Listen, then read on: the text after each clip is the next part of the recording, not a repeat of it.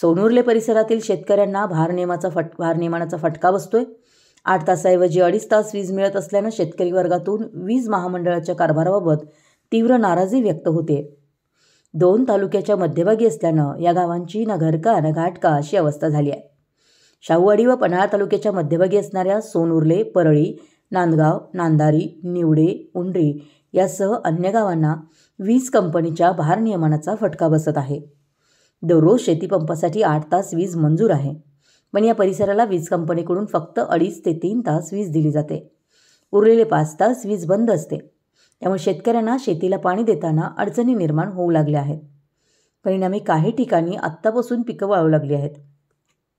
दिवसा दोन ते तीन तास व रात्री एक वाजता वीज येते. त्यामुळे रात्री शेतात जाताना गव्यांची भीती असते. त्यामुळे वीज कंपनीनं शेतकऱ्यांचा चाललेला खेळखंडोबा थांबवावा व नेमानं मिळणारी आठ तासाची वीज शेतीपंपासाठी द्यावी अशी मागणी सोनुर्ले येथील शेतकऱ्यांनी केली आहे. अनेक वेळा विजेचा लपंडाव सुरू असल्यानं वीज ये जा करत असते त्यामुळे नांदगाव येथील काही शेतकऱ्यांची शेतीपंप जळाले आहेत. ही नुकसान भरपाई कोण देणार असा सवाल शेतकऱ्यांनी केला आहे याबाबत घोटवडे सबस्टेशनचे कनिष्ठ अभियंता रवींद्र मोहिते यांनी परिसराला बाजारभोगाव व कळे सबस्टेशनमधून वीज जोडलेली आहे. सबस्टेशन व या गावचं अंतर लांब असल्यानं अनेक वेळा विजेचा लपंडाव सुरू असतो.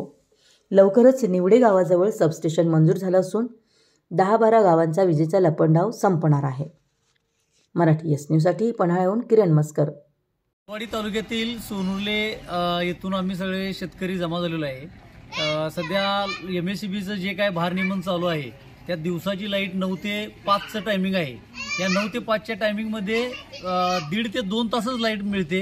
त्याच्यानंतर ह्या दीड ते दोन तासात पण आठ आठ दहा दहा वेळा ती लाइट जाते. त्याच्यामुळं शेतीपंपाचं नुकसान लोड फ्लक्च्युएशनमुळं शेतीपंपाचे बऱ्याच लोकांचं नुकसान झालं आहे शेतीची जी काय कामं खोळंबली आहेत लोकांचे ऊस वाळलेत आणि रात्रीची जी लाइट आहे रात्री दीड ते सकाळी साडेनऊचं टायमिंग आहे. त्या टायमिंगमध्ये अं, गौ रेड्यांच्यासारखे पशु पशुंच्या त्रासामुळे शेतकरी जाऊ शकत नाहीत रात्री. आणि दिवसाच्या भारनियमनामध्ये लाइट आम्हाला एक तास ते दीड तास लाइट मिळत्या. ह्याच्यामुळं पूर्ण शेतीचं वेळापत्रक कोलमडलेलं आहे. ह्याची दखल जर काय याची दखल जर एम एस सी बीने नाही घेतली तर एम एस सी बीवर थोड्याच दिवसात आम्ही मोर्चा काढणार आहोत. आणि ह्या गोष्टीचा आम्ही तीव्र निषेध करतो की शावाडी तालुक्यात हे शेवटच्या बॉर्डरवरचं गाव आहे. इकडं कोणाचंही लक्ष नाही आहे.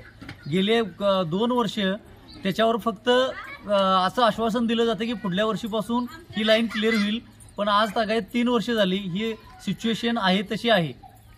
लवकरात लवकर त्याच्यावर जर पर्याय नाही निघाला तर सर्व शेतकऱ्यांना घेऊन आम्ही एम एस सी बीच्या ऑफिसवर लवकरात लवकर मोर्चा काढू.